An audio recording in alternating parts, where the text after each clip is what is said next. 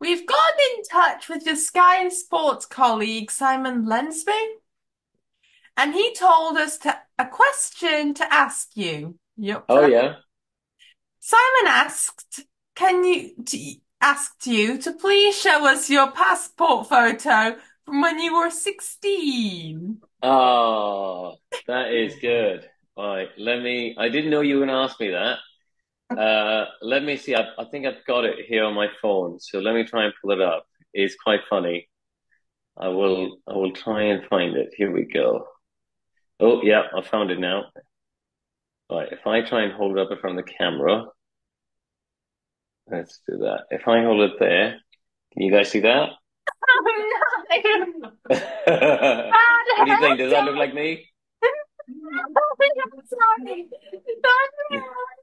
We we don't mean to, but We don't mean to laugh. I know it's very funny. Sorry. Please Don't laugh be right sorry. It. I is. don't know if I look worse more because when I take my photo, I just look like a random guy from the street. Yeah.